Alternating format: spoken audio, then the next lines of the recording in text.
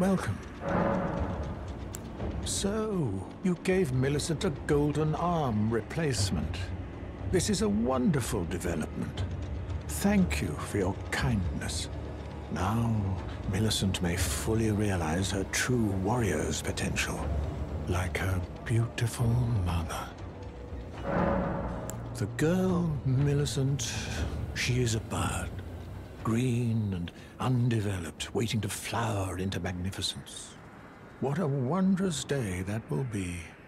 In truth, before her, I'd never seen a bud of such superior quality. She might very well outshine her sisters.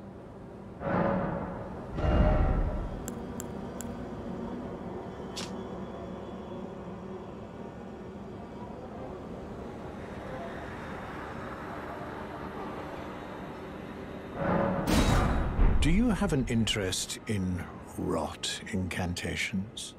Then you might like to learn something of the history of Malenia, goddess of scarlet rot. Queen Marika and her king consort Radagon were blessed with twin demigods, and Malenia was one of them. She was born an Empyrean carrying the scarlet rot. An Empyrean is no mere demigod.